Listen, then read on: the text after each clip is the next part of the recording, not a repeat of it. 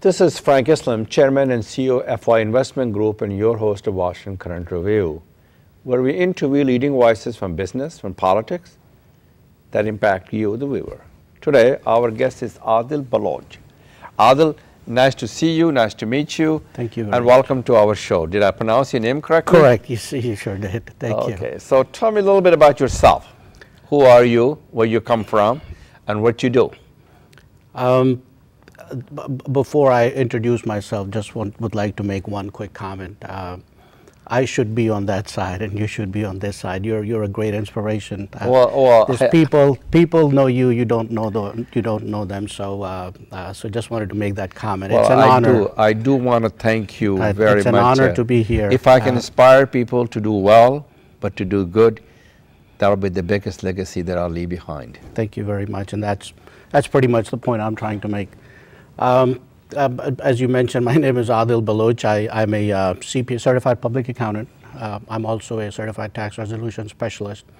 I have a small practice in Montgomery Village, uh, Montgomery County, Maryland. So you're from Maryland. I am from Maryland. Yes. Oh. um, um, I have been. you live there in Montgomery County also? I have lived in Montgomery County since 1994. Yeah, so, where do you live in Montgomery County? I live in Clarksburg now. Yeah. But I have gone from, uh, I tend to move north. So I moved from, uh, in 1994, being in uh, Gaithersburg area, um, over the course of, what's that, 24, 25 years, Mm-hmm. I have moved about 15 miles north. I'm in Clarksburg now. That's a little bit rural and also a lot of uh, open space. Correct, that's right. So And I, I'm, I'm sure you and your family enjoy it. So, okay, uh, so you had a humble beginning. I had a uh, humble beginning. I, uh, uh, I actually, my forefathers uh, come from a, a very small, tiny village uh, in, uh, in District Tharparkar in, in the province of Sindh in Pakistan. Uh, my village still does not have access to potable water. Uh, there's no trains that go there. So, so how do you get there? Um, there's there's buses. There's World War World War II actually. What World about the road? You can take a car. the, the, yeah, you can actually drive. You can drive, Okay. drive in a car. Okay, okay. Uh, the the um, once you go past my village, actually, which gets very close to the Indian border, about 45 kilometers Close to Rajasthan. close to Rajasthan. Yes. So this is desert that I'm talking. Tharparkar is a desert, and we are literally 45 kilometers from the uh, from the Indian border. And if you want to go any farther than my village, you will actually have to ride on one of those 1945 uh, World War II trucks. The you know the um, the high uh, what do you call those? The Hilux or whatever. I got Uh, you can actually tell just by looking at them that they were built in 1945 and they're Wow. still in service. You actually climb on those and they take you. So you had a humble beginning and humble roots. I hope you helped the people who helped you to get here. Absolutely, we have been in constant touch. Um, there's a whole bunch of stuff that my father, who I lost in 2006, uh, uh, my father actually came from that background, two master's degrees and a PhD. He was a research scientist. He was a plant pathologist. Uh, he has a few varieties of rice named after him. Uh, he was a scientist at the International Rice Research Institute in the Philippines for a while as well. So my father probably the first inspiration for me um, to do what he did, follow his footsteps. So it's still in you uh, the passion and the commitment and the love. Correct. That's Of your right. community. Yeah. My, I have a picture of my father in my office that I well, look at I, every day. I also there you go. So- embody my parents' dream. Sure. So, uh, so that's a good background. So you went to school over here, then you became a CPA. Uh, When did you start your private practice? I actually started uh, working for myself. I did uh, I did a few large independent contracts with Sure. Be- with Bearing Point, uh, Yeah. Freddie Mac, Fannie Mae, um, before um, going on my own in 2000, late 2003, early 2004 is when I started. So and then I've been in practice uh, ever since. I want to, you, you mentioned something about the tax relief. So explain to me what this tax relief uh, Act of 2015 is, what its purpose is for the, uh, and so people would know what that Sure. So there about. was a there was a, a, a, a good number of tax provisions that were that were going to expire at the end of 2015 or had already expired before December 2000 uh, December 31st 2015. Based on the 2000 um, relief extension, um, all of them were extended. They all have been extended through the end of 2016. So there's still some more work that will need to be done. This being election year, I'm not sure what will happen before December 31st. This is the federal tax This is federal, federal taxation that we're talking about. Obviously, some of the provisions do affect the, the state filings as well, uh, because what shows up on your federal return in some ca- in most cases flows through to your state as well. So it does affect eventually your state taxes as well. So a, a few, few, uh, quite a few provisions were actually extended uh, into And, and, and, 2016. and is, uh, what provision were extended for individual as well as for the business? So basically, what we're talking about here is, is that um, elementary um, school teachers, um, as you probably know uh, in this country, if they have to do some activities for the for the for the children in, in, in, in their classes, and they end up buying something for for the kids, um, there was a uh, deduction available. Um, granted, the amount is not that much, but there was a deduction available which was going to expire December 31st. It has been extended. Um, and how much they can deduct? It's $250, but that's good enough uh, for teachers to afford um, an inventory of crayons and, uh, uh, and, and, you know, color books and those kind of things. So it covers them for the most part. Most people that I work with, they pretty much get all their money back. So that's, it's, it's a good provision to have. Uh, I'm a strong proponent of getting it, making it permanent if at all possible. Uh, because that not only gives the money back to the teacher, they really do not have to worry about where the money is going to come from if they have something creative or something that will help uh, the development of, of certain children in their classes.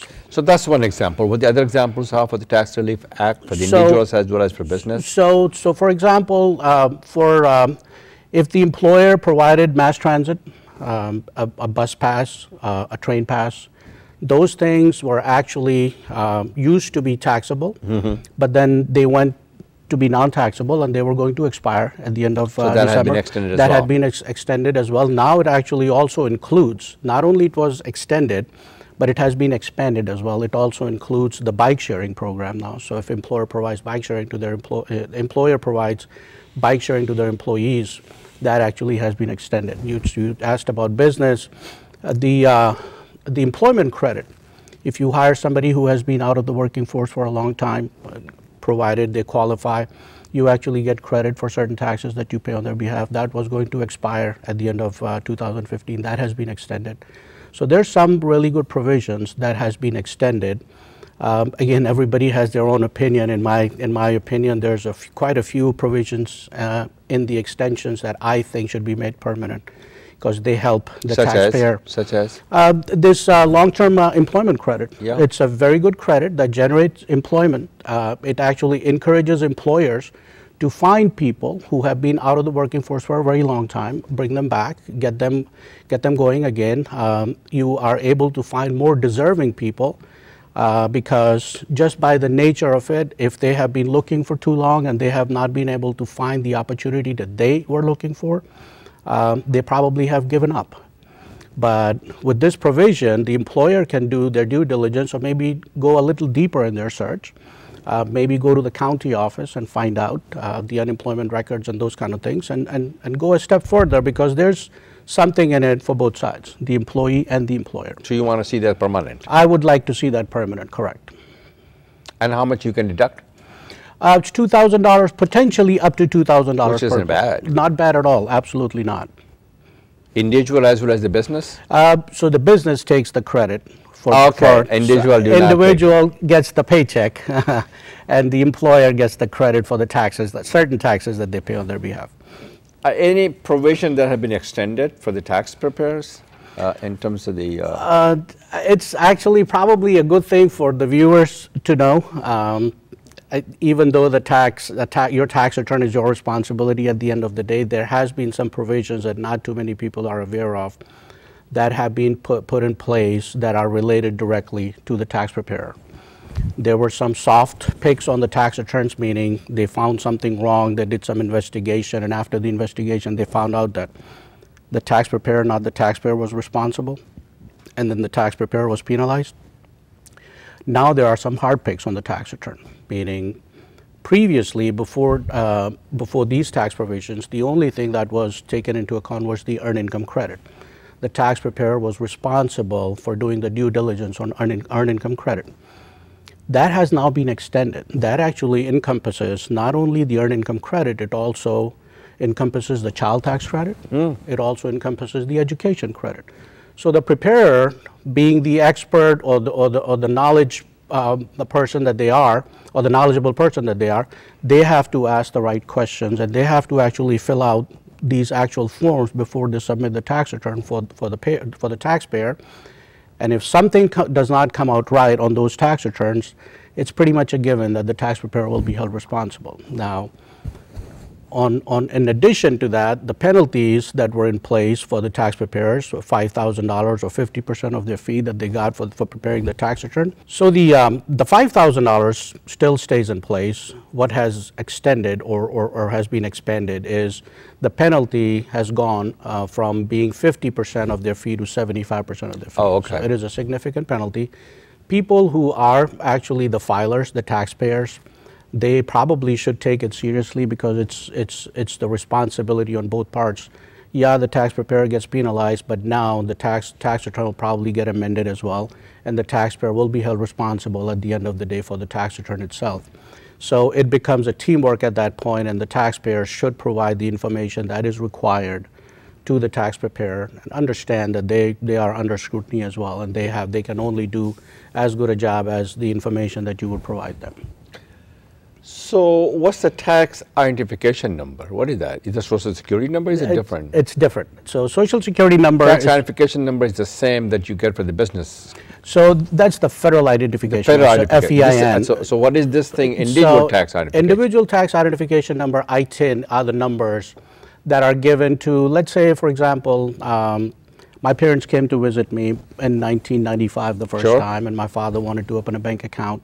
Um, and we wanted to get um, health insurance for him as a tourist while, while he was here. So we opened the bank account, and to open the bank account, we applied for a tax ID number so he can use that to open a bank account. Sure. Now, he could not work under that number because it's not a social security number. Social security number, as you know, is only for citizens and the permanent residents. A person who's here either to do business um, or here on a, on, a, um, on a temporary visit, they get the tax ID number and they use the tax ID number for purposes like perhaps applying for a driver's license, opening a bank account, buying a uh, uh, transit insurance, and those kind of things. So that's- it's quite different from. Uh, So you have to apply it in order for you to get it? Correct. So you provide them documentation, copy of your visa, copy of your travel documents, all your information, your address and everything, and then they assign you a tax ID number that you use. What has changed uh, related to those tax ID numbers? I believe um, everyone who was issued a tax ID number, an ITIN before 2013, they will have to get it renewed, I believe, between 2017 and 2020. That's, those, are the, those are the years when they will need to be renewed. So far, what was issued was issued.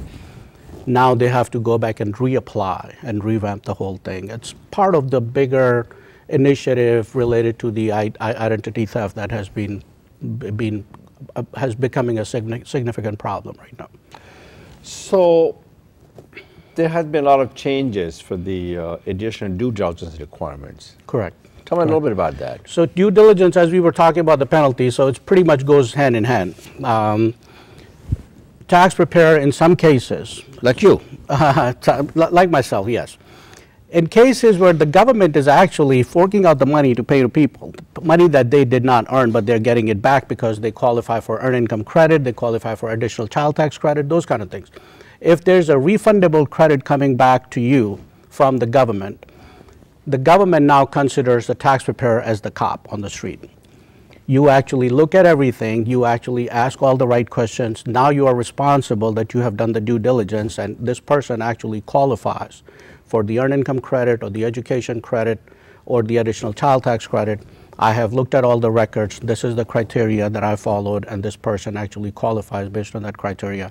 Now you can submit the tax return. As I said, something wrong comes out, the tax preparer is responsible. And that's the provision that is in effect now. And the responsibility is uh, to the taxpayer. So if something goes wrong, something happens, and what are the penalty? So the tax preparer, uh, the, the, the, the tax uh, payer obviously will pay the usual accuracy related penalties and the interest and, and, and, uh, and, and underpayment penalties and so on and so forth. Uh, Tax preparer, on the other hand, is subject to the penalties that we that we discussed earlier. So they both end up paying something. They both have to pay some kind of penalties. The tax uh, preparer is paying the uh, $5,000 or the 75% of their fee that they earn from that preparation job engagement. They pay that, plus the taxpayer will pay the interest rate is at 6% right now per year. It's 5% uh, uh, per month, uh, uh, half a percent per month. Um, and the penalties, they could be as high as 20% of your overall My tax goodness. liability. Yes, it's, it's, it's pretty significant. But you still want to do the. I, uh, I love I, love what I do, and I, I try to be as careful as possible. that's that's the best I can do. What kind of reform do you think the IRS, ne- IRS needs to do? To do? The, the I'm sorry, say that again. What kind of reforms? Oh, the reform. The- Actually, they- that, you know? That's a very good question because reform, the IRS reforms, That's is what part of this uh, part of this extension. Um, so, the Taxpayer Bill of Rights, and I think on on on, on, on my program uh, on tax uh, the, the Capital Forum, I have mentioned Taxpayer Bill of Rights probably 25 times already. People need to know that there's such a thing called Taxpayer Bill of Rights. They have the right to privacy, they have the right to accurate tax bill, they have the right to respect, they have the right to service because uh, IRS is a service-based organization. Uh, they have the right um, to not pay a penny more than what is uh, what is assessed against them. yeah. All those things are actually part of this this bill, where the IRS has committed to provide training to their employees to train them on these things that this is part of the law now and this is what the taxpayer actually deserves and this is their right and this is how they should be treated and that's what they should be getting from the IRS. It- Has it been passed in the Congress? It has, yes. So it, uh, as I said, this has been passed temporarily. It has only been extended through 2016 December. Uh, something will need to be done. Prior to that, uh, there was a talk of, uh, of making it, uh, uh, making it permanent, but no, now, the bill itself covers from 2015 to 2025. Um, there's about 97 billion dollars at stake here, uh, which are only 10 billion of that that is paid for. Um, it, this is a pay-as-you-go bill. Um, it's at the the entire feedback is at the macroeconomic level, so it's it is tied to the interest in the future. It is tied to the national uh, uh, uh, uh, gross production. It's it's tied to all those things. So to pay it back, to to to actually recoup the money that you will be spending on this bill, there's still a whole lot of work that that needs to be done, and that is why this bill actually this is not the first time this was extended for for 12 months. It has been extended for 12 months multiple times. It has yet to be made permanent. Uh, some of the provisions that are related to business, especially, uh, meaning the depreciation and the uh, and the accelerated depreciation and bonus depreciations, those things, again, in my opinion, should always be permanent. Those are some some really good incentives for businesses, uh, and so on and so forth. But to answer your question, it has been passed, but it has only been passed as a patch. It's temporary. Some some work still needs to be done to make it permanent. So what's the truncated social security number is, and that's a, that is a part of the law now. What's Sure. a truncated? I mean, So- obviously we all have a social security Uh, number. yeah, correct. So- Without that, you cannot file into your tax return. You cannot. No, you have to. so have a what's a truncated? Um, good question. Uh, Now, truncated, it actually came um, after all these identity theft cases. Just two, three days ago, IRS came back to us and it said, because when you file a tax return, every, tax, uh, every taxpayer has a five-digit PIN, PIN number that, Yes. that goes out with. S- In certain cases, when people have been an ID theft victim in the past, IRS provides them a six-digit special PIN number Okay.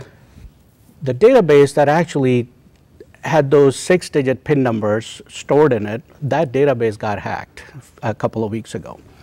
So that has been suspended temporarily until they revamp it and, and get, get started with that. So the truncated social security number is part of that effort to actually avoid, uh, going forward, avoid uh, uh, ID theft issues.